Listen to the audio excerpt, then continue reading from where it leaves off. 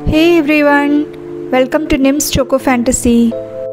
Today I'll be sharing with you all a Middle Eastern dessert called kunafa, which is made with spun pastry soaked in a sweet sugar based syrup layered with cheese. I couldn't get my hands on spun pastry, which is typically used for this dessert, but recently when I saw this kunafa vermicelli, I thought to give it a try with this. They feel like the normal vermicelli, but this one is very thin, just like strands of hair. For this, take 250 grams of kunafa vermicelli, crush it into small pieces. My bowl was small, so I transferred it into a bigger bowl.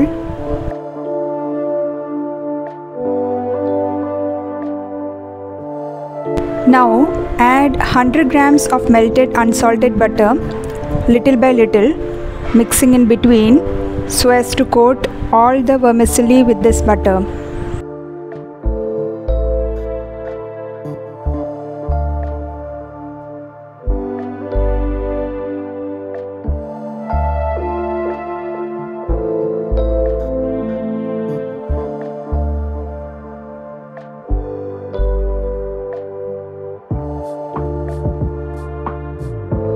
Once done, keep it aside.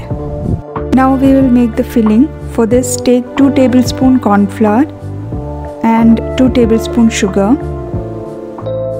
To this, add 1 cup of milk, little at first, mix well, then add rest of the milk. If you add the whole milk in one go, then there are chances of getting lumps in the mixture. Once the mixture is ready, Keep it in low flame, whisking continuously.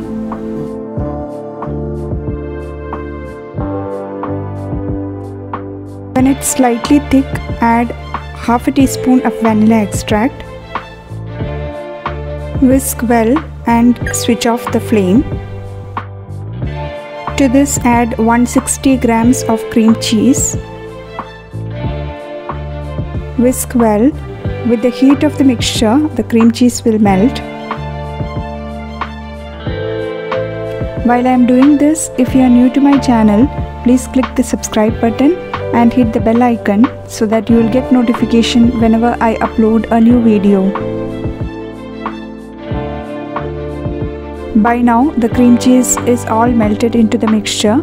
This is the thickness we are looking for.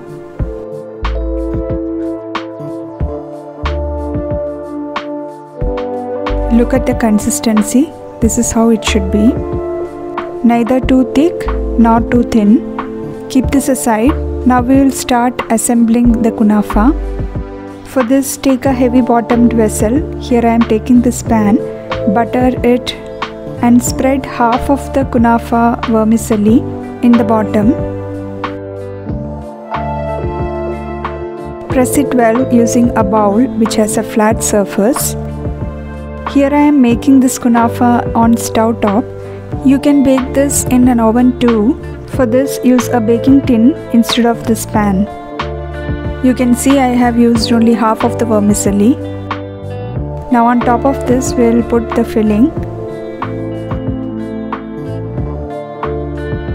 Make sure not to spread the filling towards the sides. We don't want the filling to touch the side of the pan. Now put the remaining vermicelli, start from the sides first. Press it very gently, we don't want the filling to ooze out. Now put the vermicelli on the top also and cover the entire filling.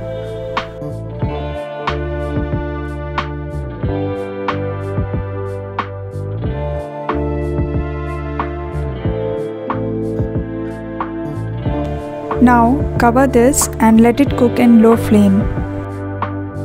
In the meantime, we will make the sugar syrup. For this, take 1 3rd cup of sugar, add 1 3rd cup of water in this and let it boil. To this, you can add rose water or cardamom powder just to flavor it. Once the sugar is dissolved, switch off the flame and keep it aside. Check on the kunafa in between when you see slight color change on the sides, switch off the flame. Take a big plate, slightly grease it with butter. We are going to flip the kunafa onto the plate. We have to cook the other side, so gently slide this onto the same pan. Switch on the flame, keep it in low, and let this side also cook well. If you are baking this in an oven, you can skip this step. Once done, take it out on a serving dish.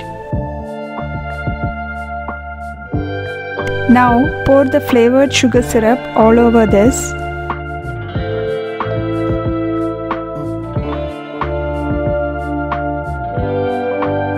Decorate it with some chopped pistachios.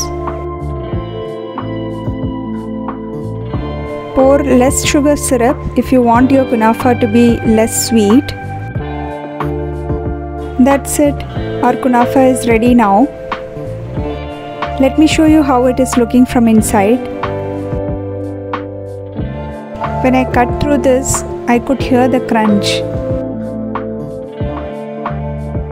I wanted my kunafa to be less sweet, so I added less sugar syrup and this was really perfect for my taste. How can I describe this dessert?